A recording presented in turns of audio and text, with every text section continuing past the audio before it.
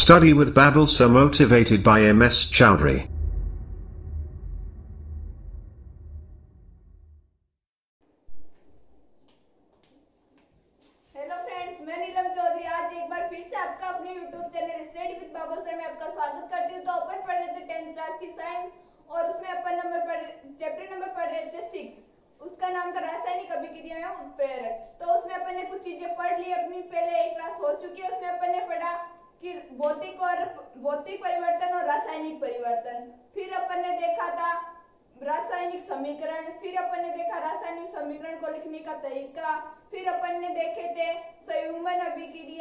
विस्थापन अभिक्रिया, वियोजन अभिक्रिया, द्विस्थापन अभिक्रिया, सक्रियता श्रेणी और आज अपन पढ़ेंगे मंद और तीव्र अभिक्रिया, फिर अपन पढ़ेंगे उत्क्रमणीय और अनुत्क्रमणीय अभिक्रिया, फिर पढ़ेंगे ऑक्सीकरण अपचयन। तो अब अपन देखते हैं मंद और तीव्र अभिक्रिया क्या होती है।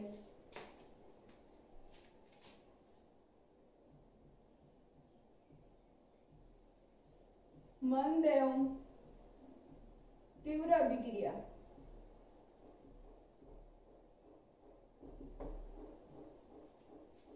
वेग और समय के आधार पर अभिक्रिया दो प्रकार की होती है, जो होती है मंद और तीव्र अभिक्रिया। मंद अभिक्रिया का मतलब तो होता है कि मंद अभिक्रिया धीरे धीरे होती है। मंद अभिक्रिया को होने में कई वर्षों, कई साल लग जाते हैं और जो तीव्र अभिक्रिया होती है, वो तुरंत हो जाती है। तो अपन सबसे पहले देखते हैं, तीव्र अभिक्रिया क्या होती है?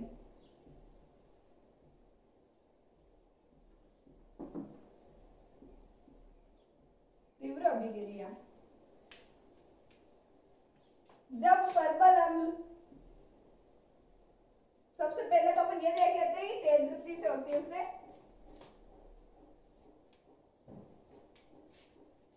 वह अभिक्रिया।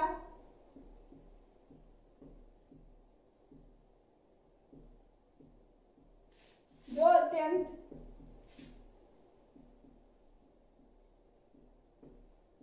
तेज़ी से संपन्न होती है।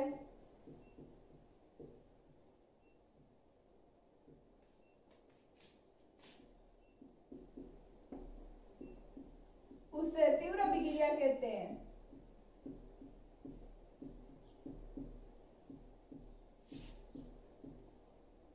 उसे तीव्र अभिक्रिया कहते हैं।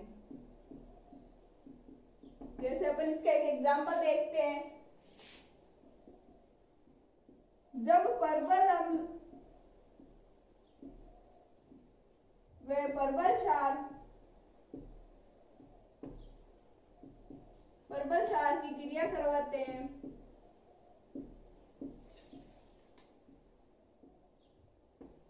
क्रिया करवाते हैं तो यह क्रिया दस के पावर माइनस दस सेकेंड यानी कि अत्यंत कम समय बहुत ही तीव्र हो जाती है ये क्रिया दस के पावर माइनस दस सेकेंड में संपन्न हो जाती है अब अपन इसकी रिएक्शन देख लेते हैं जैसे अपन ने पढ़ लिया पहले कि परबल अम्ल परबल अम्ल अपन ने ले लिया HCl और परबल सार अपन ने ले लिया NaOH सोडियम हाइड्रोक्साइड और हाइड्रोक्लोरिक अम्ल जब इन दोनों के बीच में क्रिया होती है तो NaCl और जल बनता है सोडियम क्लोराइड और जल यह भी क्रिया अत्यंत तीव्र गति से संपन्न होती है।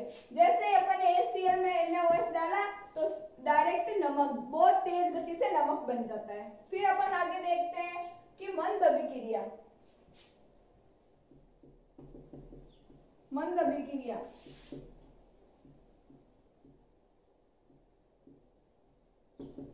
वह अभिक्रिया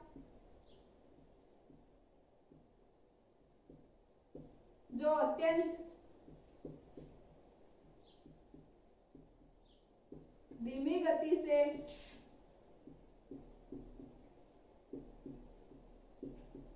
संपन्न होती है।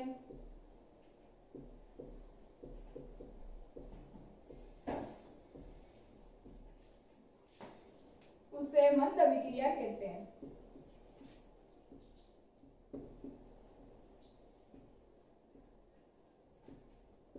उसे मंद अभिक्रिया कहते हैं। मंद अभिक्रिया संपन्न होने में कई साल लग जाते हैं। मंद अभिक्रिया मंद अभिक्रिया के संपन्न होने में कई दिन व कई साल लग जाते हैं। ये संपन्न संपन्न होने में कई दिन, कई दिनों में वर्षों का समय लग जाता है।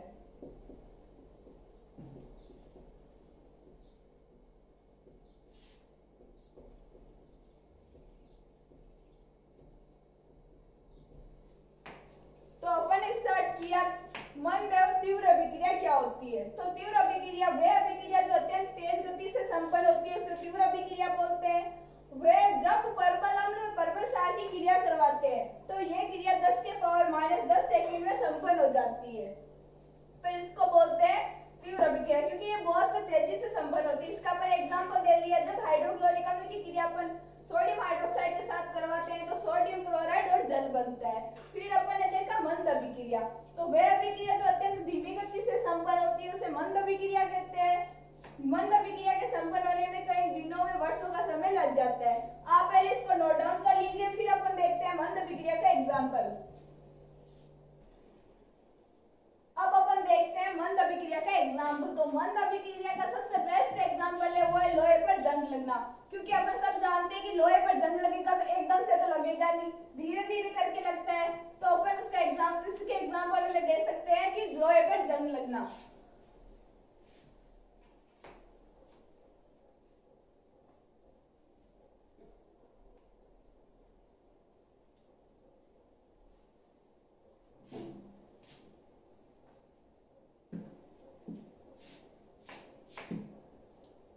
मंद अभिक्रिया का एग्ज़ाम्पल इसका एग्ज़ाम्पल देख लिया मैंने लोहे पर जंग लगना। लोहे पर जंग लगना। लोहे पर जंग लगने की क्रिया अत्यंत धीमी गति से संपन्न होती है। तो F plus S two O plus O two तो यह हो जाएगा F E two O three two तो अपन सब जानते हैं कि जब लोहा जल और वायु के संपर्क में आएगा, तभी तो उसमें जंग लगेगा। तो यह हो गया लोहे पर जंग का सूत्र।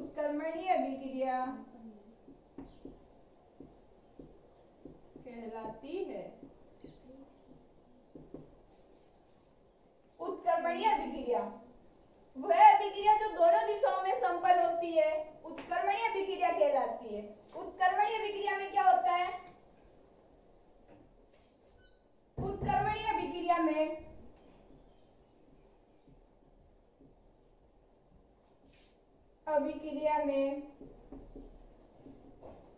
अभिकारक से उत्पाद अभिकारक से उत्पाद और उत्पाद से वापस अभिकारक बना सकते हैं। और उत्पाद से वापस अभिकारक बन जाता है। अभिकारक बन जाता है।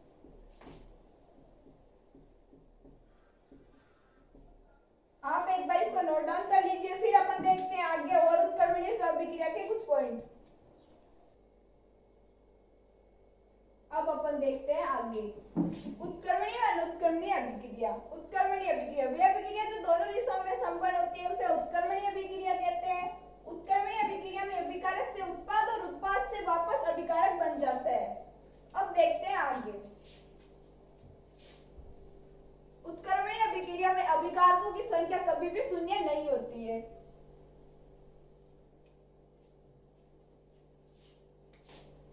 उत्क्रमणीय अभिक्रिया में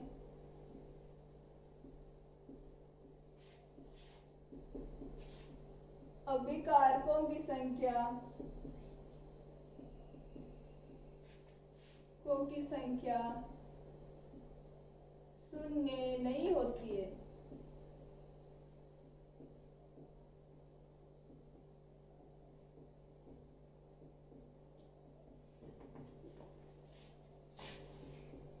अब देखते हैं आगे उत्क्रमणीय अभिक्रिया में उत्क्रमणीय अभिक्रिया को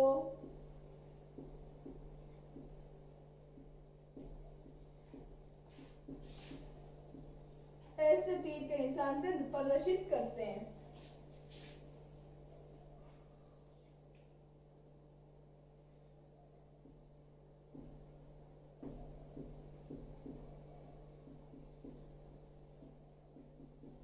निशान से प्रदर्शित करते हैं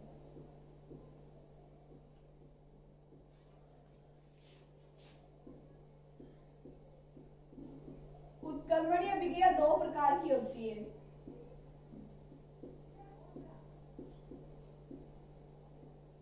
उत्कर्मणीय अभिक्रिया।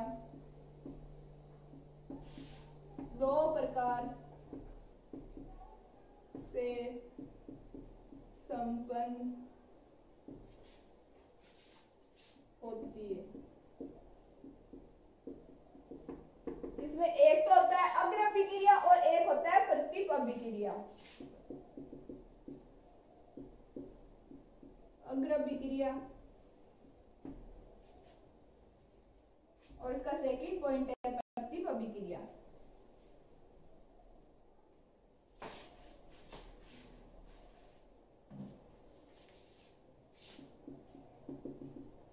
प्रतीप अभिक्रिया अब अपन देखते हैं अग्र अभिक्रिया तो अब अग्र अभिक्रिया का एग्ज़ाम्पल जैसे अपन ने देख लिया। ए प्लस बी और उत्क्रमणीय अभिक्रिया के बीच में हमें ऐसा चिन्ह आता है, और यहाँ उत्पाद बन गया सी प्लस बी तो ये तो हो गई अग्र अभिक्रिया क्योंकि ये ए से सी प्लस डी बन रहा है, और अब अपन देखते हैं प्रतीप अभिक्रिया तो इसमें क्या होता है? सी प्लस डी उत्पाद से अभिकारक बन रहा है। ए प्लस बी तो ये हो गए प्रतीप अभिक्रिया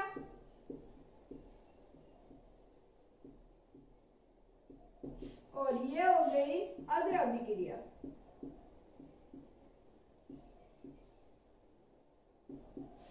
अब अपन आगे देखते हैं इसके एग्ज़ाम्पल उत्क्रमणीय अभिक्रिया के कुछ example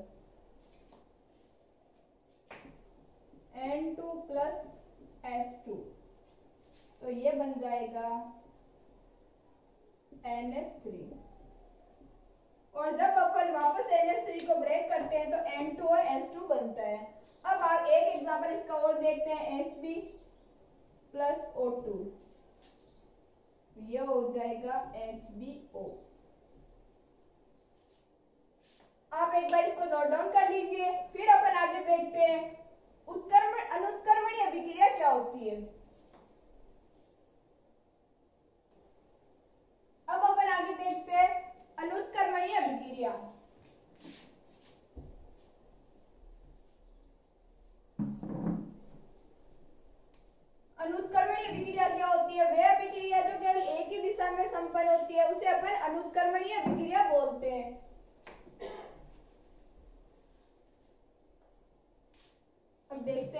अभिक्रिया सेकंड आता है, अनुत्कर्मणीय।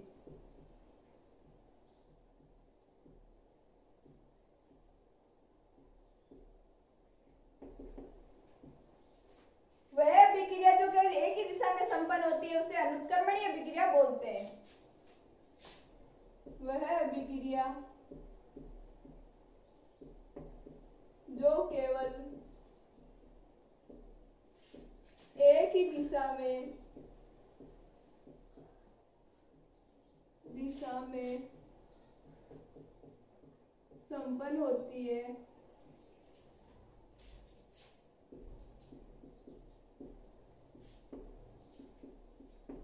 उसे अनुत्कर्मणीय अभिक्रिया बोलते हैं।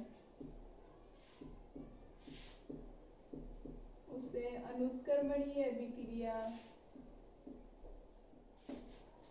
कहते हैं फिर अपन आगे देखते हैं कि अनुत्कर्मणीय अभिक्रिया में अभिकारक से उत्पाद तो बन जाते हैं पर उत्पाद से अभिकारक नहीं बनता है इस अभिक्रिया में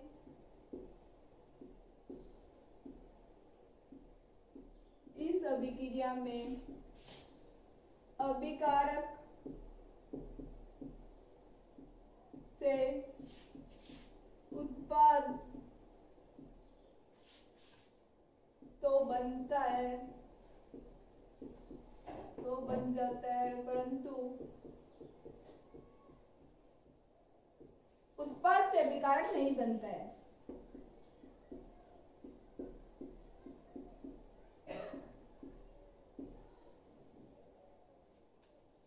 उत्पाद से अभिकारक नहीं बनता है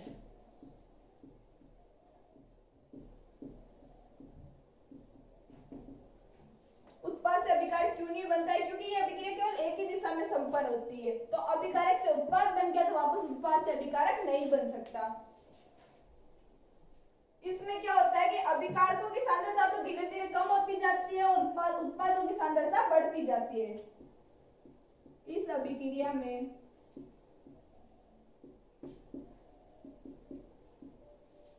अभिकारकों की सांद्रता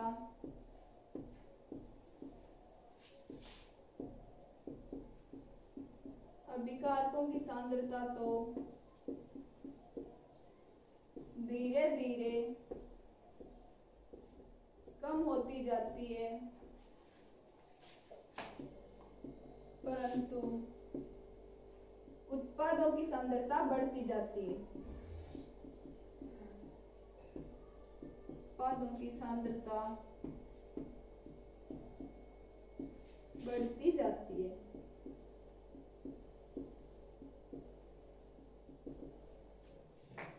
इस अभिक्रिया में अभिकारकों की सांद्रता तो धीरे धीरे कम होती है परंतु उत्पाद उत्पादों की सांद्रता बढ़ती जाती है इस अभिक्रिया को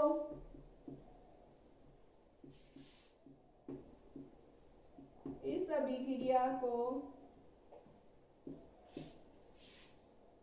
तीर के चिन्ह से इस अभिक्रिया को तीर के चिन्ह से दर्शाते हैं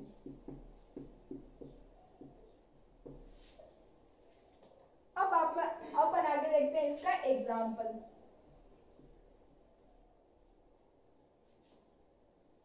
अनुत्कर्मणीय अभिक्रिया का एग्ज़ाम्पल जैसे अपन ने ले लिया कार्बन और ये और ले लिया ऑक्सीजन तो ये बन गया CO2 जब अपन CO, अब अपन CO2 से वापस कार्बन और ऑक्सीजन बन, नहीं बना सकते। फिर आगे एक एग्ज़ाम्पल अपन देखते हैं, इसमें मेथेन का दहन। मेथेन का दहन। CH4 मेथेन का सूत्र होता है CH4 और ऑक्सीजन की उपस्थिति में होता है देन तो ये बनता है कार्बन डाइऑक्साइड और जल। तो अपन ने देखा कि ये अभिक्रिया केवल एक ही दिशा में संपन्न होती है। तो एक ही दिशा में संपन्न होने का मतलब क्या हुआ? कि यह सिर्फ़ अभिकारक से उत्पाद बन सकता है। उत्पाद से वापस अभिकारक इसमें नहीं बना सकते। आप पहले इसको एक बार नोट डाउन कर लीजिए, फिर अपन देखते हैं आगे अनुत्क्रमणीय अभिक्रिया वे अभिक्रिया जो केवल एक ही दिशा में संपन्न होती है उसे अनुत्क्रमणीय अभिक्रिया बोलते हैं इस अभिक्रिया में अभिकारक से उत्पाद तो बन जाता है परंतु उत्पाद से अभिकारक बनता फिर अपन ने देखा कि इस अभिक्रिया में अभिकारकों की सांद्रता तो धीरे धीरे कम होती जाती है और उत्पादों की सांद्रता बढ़ती जाती है। इस अभिक्रिया को तीर के चिन्ह से दर्शाते हैं। फिर अपन इसके दो एग्ज़ाम्पल देख लिए। एक तो अपन ने देखा कार्बन और ऑक्सीजन की क्रिया तो बन गया CO2 फिर अपन ने दूसरा एग्ज़ाम्पल देखा मेथेन का दहन। तो इसमें भी बनता है CO2 और जल।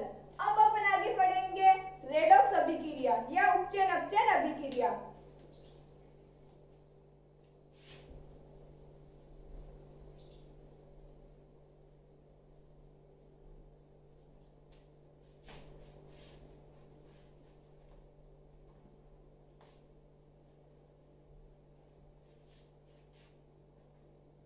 अब अपन देखते हैं रेडॉक्स अभिक्रिया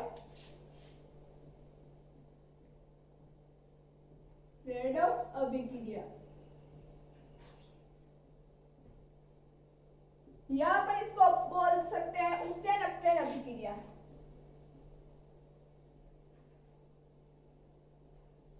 उपचयन अपचयन अभिक्रिया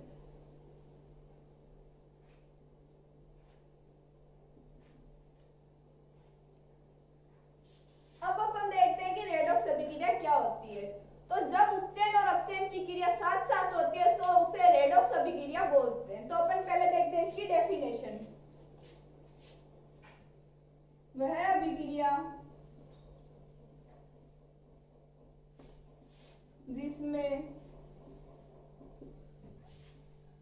उपचयन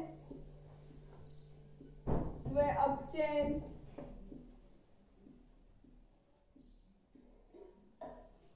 की क्रिया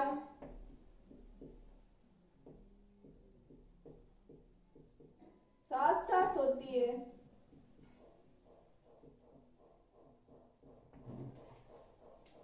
उसे रेडॉक्स अभिक्रिया कहते हैं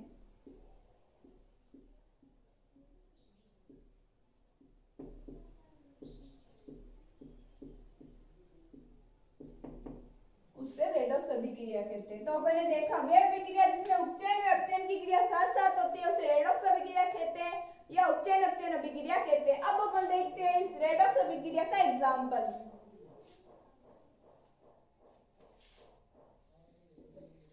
तो अपन ने ले लिया जिंक ऑक्साइड जब जिंक ऑक्साइड की क्रिया अपन कार्बन से कर, अपन कार्बन से करवाते हैं तो यहाँ बनता है जिंक और ये बनता है कार्बन मोनोऑक्साइड सीओ यहाँ जो ये सी है, उसके साथ यहाँ ऑक्सीजन जुड़ रही है, यहाँ कार्बन अकेला था और यहाँ ऑक्सीजन ऐड हो रही है इसके साथ तो इसको तो अपन बोलेंगे उपचयन, क्योंकि इसमें ऑक्सीजन की वृद्धि हो रही है। और यहाँ जेडेनो में ऑक्सीजन था यहाँ तो अभिकारक में तो ऑक्सीजन था, उत्पाद में ऑक्सीजन नहीं है तो यहाँ ऑक्सीजन की कमी हो गई, इसको अपन बोलेंगे उपचयन। इसको बोलेंगे अपन अपचयन।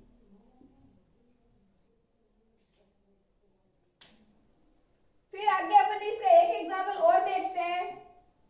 लेड ऑक्साइड सी और कार्बन की क्रिया। तो यह बन जाएगा पीबी लेड और ये हो जाएगा कार्बन मोनोऑक्साइड तो इसमें भी यहाँ सी यहाँ तो कार्बन अकेला है और यहाँ इसके साथ ऑक्सीजन ऐड हो रही है। तो इसमें तो हो गया उपचयन। क्योंकि यहाँ ऑक्सीजन की वृद्धि हो रही है तो उपचयन। और यहाँ पीपी ऑक्साइड यहाँ लेड ऑक्साइड था और यहाँ सिर्फ़ केवल लेड ही बच रहा है तो यहाँ ऑक्सीजन की कमी हो रही है तो इसको बोलते हैं अपचयन। तो यहाँ उपचयन और अपचयन की क्रिया साथ साथ होती है। इसलिए अपन इसको बोलते हैं रेडॉक्स अभिक्रिया या उपचयन, अपचयन अभिक्रिया। और उपचयन अभिक्रिया के, उपचयन अभिक्रिया मैंने आपको बताई दी कि जिसमें ऑक्सीजन की वृद्धि, उसे उपचयन, और जिसमें ऑक्सीजन की कमी, उसको बोलते हैं अपचयन। तो आप एक बार इसको नोट डाउन कर लीजिए, फिर अपन देखते हैं आगे। अपन ने देखा कि रेडॉक्स अभिक्रिया या उपचयन अपचयन अभिक्रिया तो वह अभिक्रिया जिसमें उपचयन में अपचयन की क्रिया साथ साथ होती है, उसे रेडॉक्स अभिक्रिया कहते हैं और रेडॉक्स अभिक्रिया का अपन ने दो एग्जांपल देख लिए पहला देखा कि अपन ने जब जिंक ऑक्साइड की क्रिया कार्बन से करवाते हैं तो यहाँ बन जाता है जिंक और ये बन जाता है कार्बन मोनोऑक्साइड तो अपन देखते हैं कि यहाँ कार्बन एक ही था और यहाँ इसके साथ ऑक्सीजन ऐड हो जाता है तो ऑक्सीजन की वृद्धि हो गई तो ये हो गया उपचयन और यहाँ जिंक ऑक्साइड मतलब इसके साथ ऑक्सीजन ऐड था और यहाँ केवल जिंक ही बच रहा है तो इसमें ऑक्सीजन की कमी हो गई तो यह हो गया अपचयन अब अपन देखते हैं अपचयन और उपचयन के आधार पर यह अभिक्रिया कितने प्रकार की होती है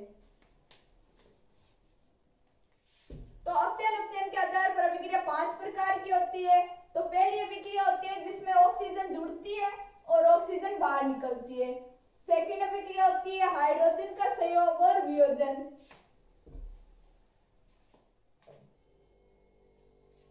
तो अपन फ़र्स्ट देखते हैं अभिक्रिया ऑक्सीकरण अब उपचयन को अपन ऑक्सीकरण भी बोल सकते हैं, क्योंकि इसमें ऑक्सीजन की वृद्धि होती है। ऑक्सीकरण में अपचयन के आधार पर के आधार पर अभिक्रियाओं के प्रकार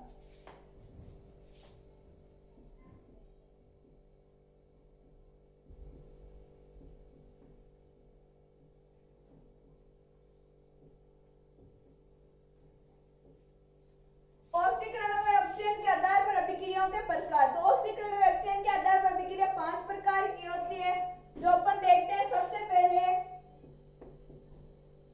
ऑक्सीजन का संयोग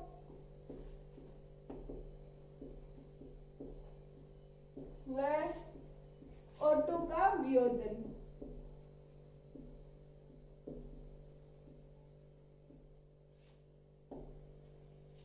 O2 का संयोग व O2 का वियोजन इसमें एक बार तो अभिक्रिया होगी उसमें तो ऑक्सीजन जुड़ेगा और एक बार अभिक्रिया होगी उसमें ऑक्सीजन बाहर निकलेगा फिर अपन आगे का पॉइंट देखते हैं हाइड्रोजन का संयोग व हाइड्रोजन का वियोजन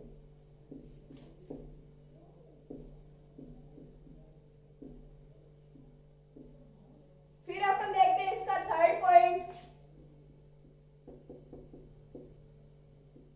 धन विद्युती या विद्युत धनी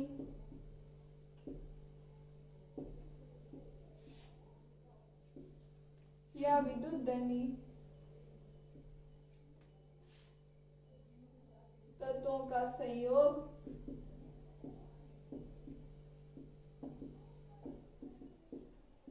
या वियोजन फिर अब इसका फोर्थ पॉइंट देखते हैं ऋण विद्युती या विद्युत ऋणी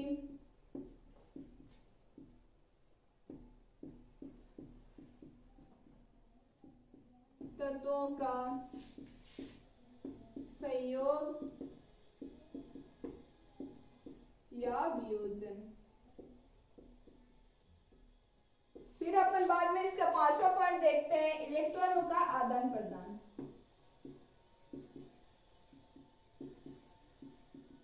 इलेक्ट्रॉनों का आदान प्रदान।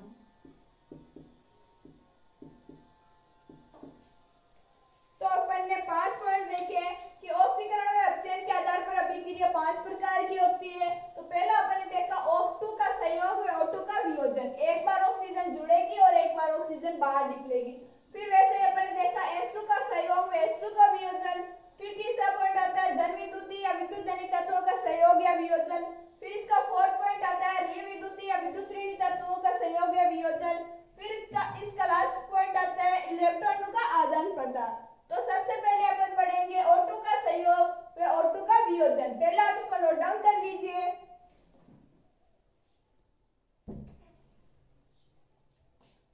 तो आज अपन ने देखा था कि सबसे पहले अपन ने स्टार्ट किया कि ऑक्सीकरण व अपचयन सबसे पहले तो अपन ने देखा उत्क्रमणीय मंद और तीव्र अभिक्रिया। फिर अपन ने देखा उत्कर्मणीय और अनुत्कर्मणीय अभिक्रिया। फिर अपन ने देखा ऑक्सीकरण अपचयन और फिर अपन ने लास्ट में देखे ऑक्सीकरण अपचयन के आधार पर अभिक्रिया कितने प्रकार से संपन्न होती है। तो अभिक्रिया पाँच प्रकार से संपन्न होती है। अपन ने ये पाँच पॉइंट भी लिख लिए। अब ये अपन पढ़ेंगे अगली क्लास में। आज की क्लास के लिए बस इतना ही। अगर आपको कोई प्रॉब्लम हो तो आप कमेंट बॉक्स में पूछ सकते हो। थैंक यू अब अपन मिलते हैं कल।